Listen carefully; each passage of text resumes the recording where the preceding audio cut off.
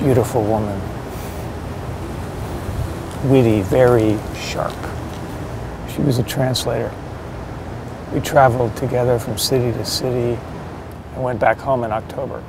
No, no, mother, that's Gregor's left us. That's not our son.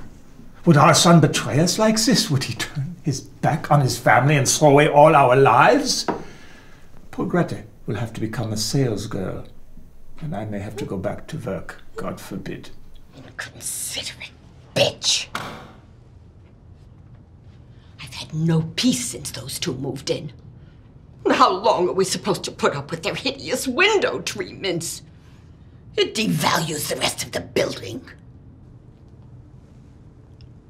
You're fucking useless.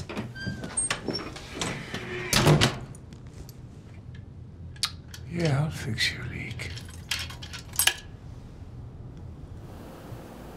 What about acting? What about it? You're an actor. You were doing great at it. Oh, I don't think so. I think so. I directed you. Maybe we can, uh, maybe we can find it in the suburbs. Oh, Bill, I can't wait any longer.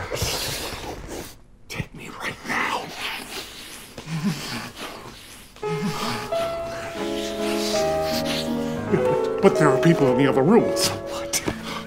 Uh, Ma petite connoisseur.